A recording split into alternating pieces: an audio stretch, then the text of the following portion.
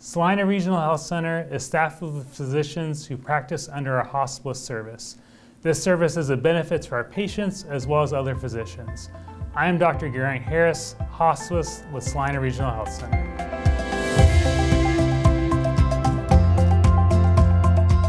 Well, Dr. Harris, thank you so much for coming on the show. Um, why don't you tell the viewers a little bit about yourself and also what a hospitalist does?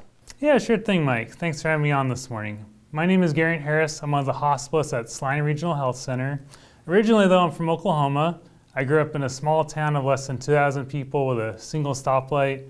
Uh, eventually, though, I moved to Oklahoma City, where I did my medical training at OU Medical School, as well as residency in family medicine. And while in family medicine, I discovered a love and passion for inpatient medicine, though. I really enjoyed the amount of time I could spend with patients, as well as helping them manage and treat the complicated care issues that arise in a hospital setting.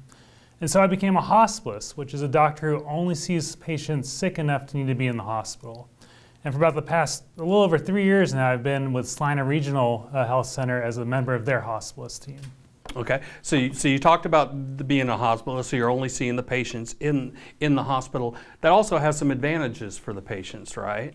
Yeah, sure thing. There are several uh, big advantages. Uh, the ones that come to mind would be we can offer 24 7 care for the patient, meaning we have a physician in the building 24 hours a day that can respond to any emergency in a matter of moments.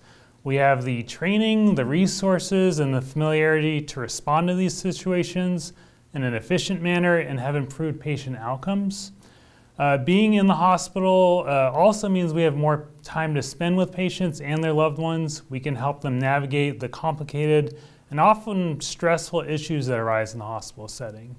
We're also familiar with the staff involved. We, we know all of the care managers, the nurses, the therapists, all by name, and we help provide a, a comprehensive and coordinated care plan for the patient.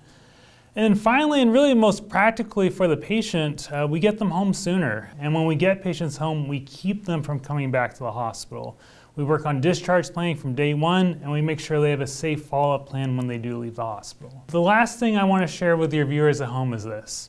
If you or your loved one is admitted to Salina Regional Health Center, you will receive compassionate care, you will receive the time of day with your physician to have your questions and concerns answered, and you'll receive the safest and highest quality of care possible.